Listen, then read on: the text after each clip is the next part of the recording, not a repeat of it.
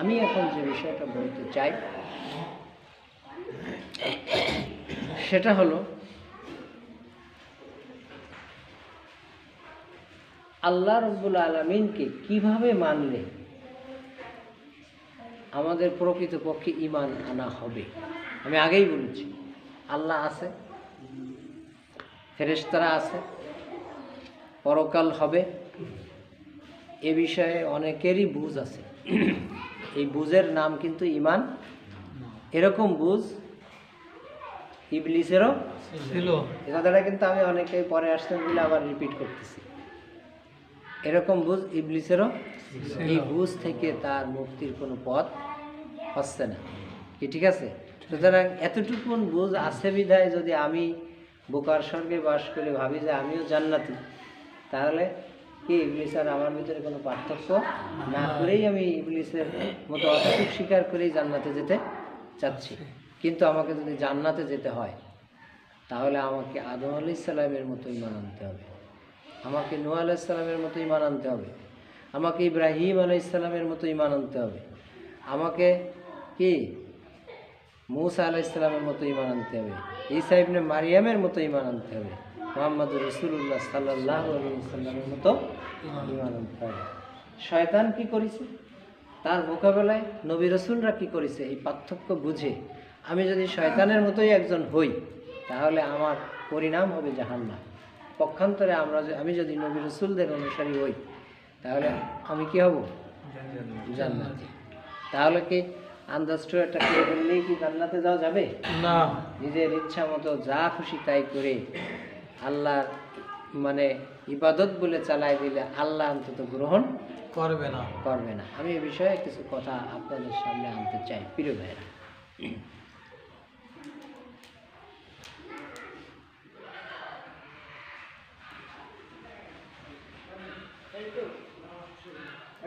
তাহলে আমরা যদি এখানে বলি আসমান জমিনের রাজত্বের মালিককে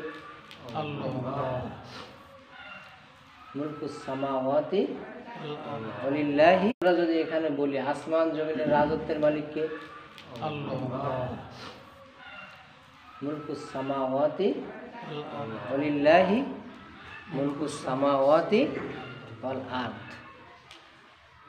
এই আসমান এবং জমিনের রাজত্বের মালিক হলেন কি?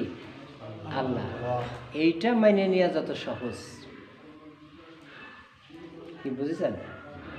আমার উপরে আল্লাহর রাজত্ব খাটবে, এইটা মানা অত সহজ না।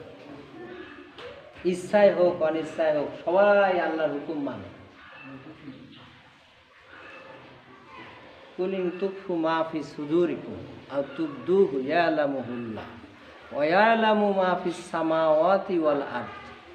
আল্লাহ কথাটা বললেন, তুমি যা হৃদয়ে প্রকাশ করো অথবা গোপন করো, আল্লাহ তা জানে। কি বুঝেছেন? আমি আপনি যা হৃদয়ের মধ্যে ভাবি মনে মনে ভাবি মনে মনে চিন্তা করি সেই কথাটা বলি অথবা না বলি। প্রকাশ কি বুঝেছেন কথাটা? সেই কথাটা কে জানে? আল্লাহ। আল্লাহ জানে।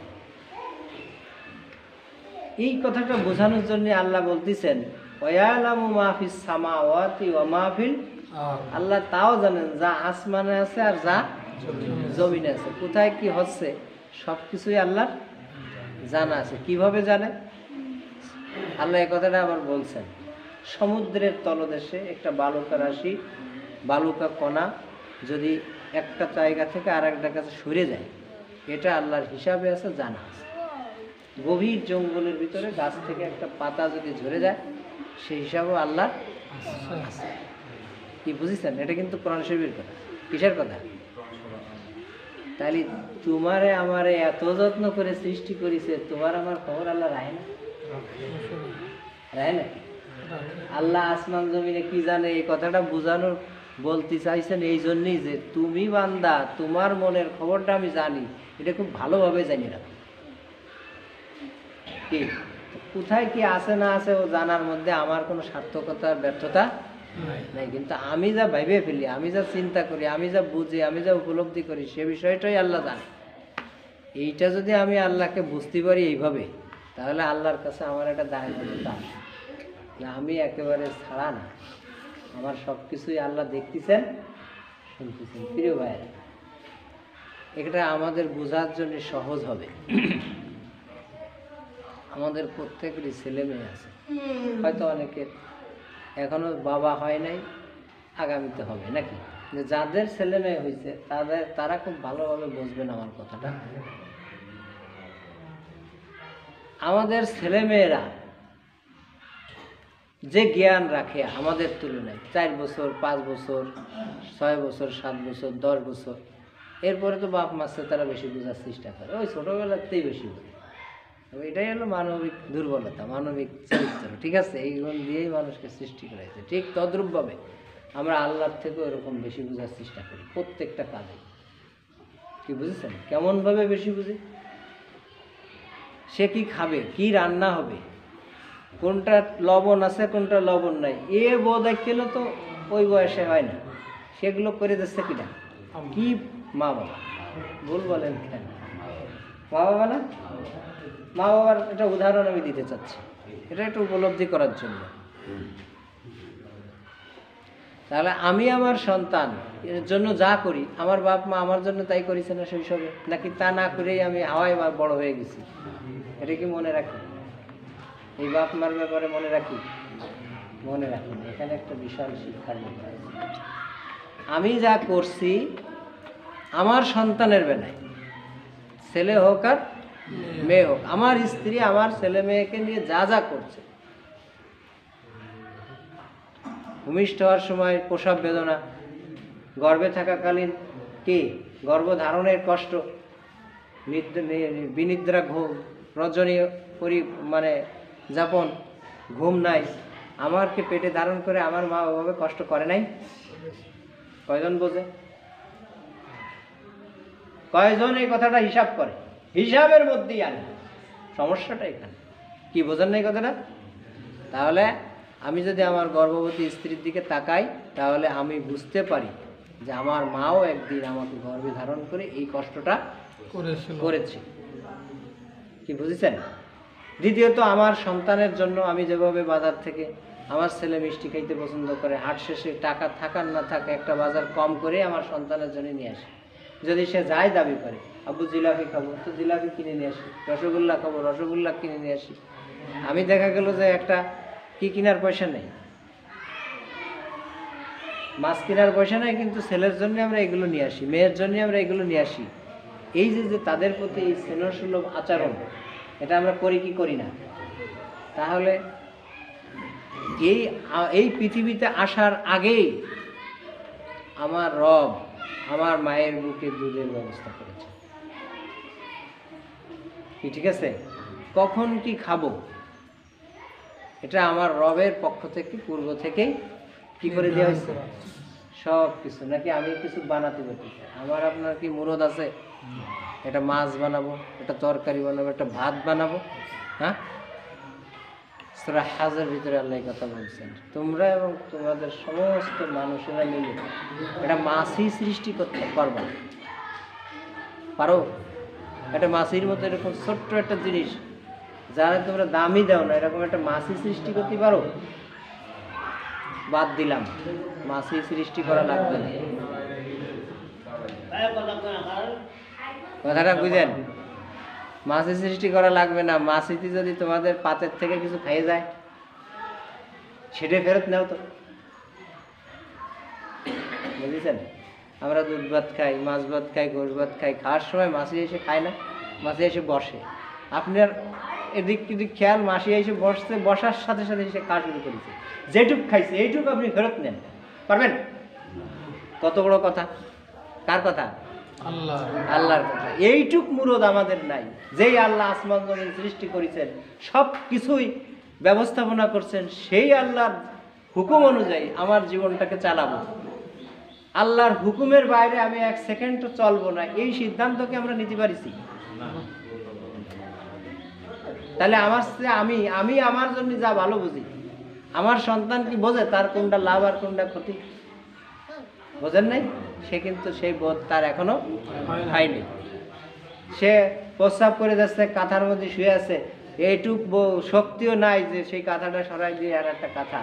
একটা প্যান্ট পাল্টায় পরার মতো শক্তি, কটটুক সময় গোসল করলে তার ঠান্ডা লাগবে, জ্বর আসবে। এ বোধ করতে তার নাই। দিন ভরে খেলা বেড়াচ্ছে, রো- বৃষ্টি আসলো তো কাদার মধ্যেই লিটে পুটে যাচ্ছে। এ যদি জ্বর বাঁধায় তো ঝামেলা কার হয়? আপনি আল্লাহর হুকুমের অবাধ্য হয়ে যা ঘটাবেন তা আপনারই ক্ষতি। এ কথাটা কি বোঝার চেষ্টা করেছি? তাহলে আসমান জমিনে সবাই মানে আরে পাগল তোরে একটু স্বাধীনতা দিছি, তুই যা খুশি তাই একটু করতে পারিস। এইটা অল্প টুকা তাও, সব জায়গায়। এইটুক পাইয়ে তুই নিজে এবার নিজের উপরে কি কর্তৃত্ব খাটাস যা মন চায় তাই করিস। এই মন যা চাই তাই করা ছাড়ান দিয়ে যতক্ষণ পর্যন্ত যে কাজ যেভাবে আল্লাহ করতে বলেছে তাই করা না শুরু করব ততক্ষণ পর্যন্ত আল্লাহকে ইলা হিসাবে মানা হবে না। হয় না। আল্লাহর উলুহিয়াত এবং রুবুবিয়াত স্বীকার করা হয়। না। আর প্রকৃতপক্ষে নবী রসুলদের মতো আল্লাহর অস্তিত্ব স্বীকার করা হয়। না। আছে ওইটুক তো সবাই মানে। কি বোঝেন নাই করে সবাই মানে। কিন্তু আছে মাইনে জান্নাতে যাওয়া যাবে না। আছে মাইনে জাহান্নাম থেকে বাঁচা।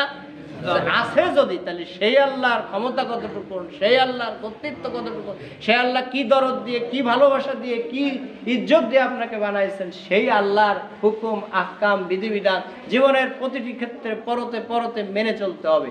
এই সিদ্ধান্ত যদি নেই, তাহলে আমার উপরে প্রভুত্ব, রাজত্ব খাটানোর অধিকার আল্লাহ আছে, স্বীকার করে নিলাম। কি বুঝেছেন কথাটা? এই জন্যে ইমান আনার একটা পূর্ব সত্য বলা হয়েছে আল কোরআনে এই আয়তাল কুরসি বা যে এটা যে সুরা বাকারার দুইশো পঞ্চান্ন নম্বর আয়াত, এর পরের আয়াতে, ফামাই ইয়াকফিরু বিত তগুতি ওয়াই আগে তগুত অস্বীকার করো। তগুত কে? তগুত হলো যারা আইন রচনা করে করে সেই আইন মানুষকে মানতে বাধ্য করা। কি বুঝেছেন? ইজহাবে ইলা ফিরাউনা তগ। ফিরাউনের কাছে যাও সে তগুত হয়ে গেছে। সে ক্ষমতা রাষ্ট্রীয় ক্ষমতা পাওয়ার পরে আল্লাহ আছে কথা আর নিজেও মানে না মানুষেরও মানতি। যা মন চায় তাই করে আর মানুষরে দিয়ে তাই করাচ্ছে। ওই ফিরাউনের কাছে যাও সে তগুত হয়ে গেছে। কি বোঝেন নাই কথাটা? তাহলে এভাবে করে রাষ্ট্রীয় ক্ষমতা নিয়ে যারা মানুষের উপরে কর্তৃত্ব খাটাচ্ছে ওরা আল্লাহর ক্ষমতাকে যেন স্বাভাবিকভাবে কি? অস্বীকার করে গোটা মানবদেরকে নিজেদের দাস বানায় নিছে যতক্ষণ পর্যন্ত এই দাসত্ব থেকে নিজের গলা থেকে মুক্ত না করব নিজেকে ততক্ষণ পর্যন্ত আল্লাহকে মানা হবে না। হবে না। প্রকৃতপক্ষে আল্লাহর আইন বিধান এবং হুকুমের কাছে নিজে আত্মসমর্পণ করেছি বলে প্রমাণ দেওয়া যাবে না। তাহলে আল্লাহ কি শুধু আল্লাহ আছে এতটুকুন? না। তাহলে আমার উপরে আল্লাহর কর্তৃত্ব আছে ক্ষমতা আছে ইখতিয়ার আছে এগুলো যতক্ষণ পর্যন্ত আমি স্বীকার না করব এবং রাজত্বের মালিক যেহেতু সব জায়গায় তার সব জায়গায় রাজত্ব চলতেছে সামান্য কিছু কাজে আমাকে একটু স্বাধীনতা দেওয়া হয়েছে। সুযোগ দেওয়া হয়েছে ভালো মন্দ বাছাই করে চলা। এই জায়গায় যদি আমি আল্লাহকে স্বীকার করে না নেই তাহলে প্রকৃতপক্ষে আল্লাহকে আমি আমার ইলা হিসাবে মানলাম না। আমার কথাটাকে আমি বুঝাইতে পারলাম? আল্লাহর জন্য আমাকে সবাইকে এই বিষয়গুলো বুঝে প্রকৃতপক্ষে ইমান এনে আল্লাহকে যেন আমাদের ইলা হিসাবে মেনে নিতে পারে। এবং এবং জাহান্নামের থেকে নিজেদেরকে মুক্ত করে জান্নাতি মানুষ হিসেবে গড়ার চেষ্টা করতে পারি। আল্লাহ আমাকে সবাইকে তৌফিক দান করুন।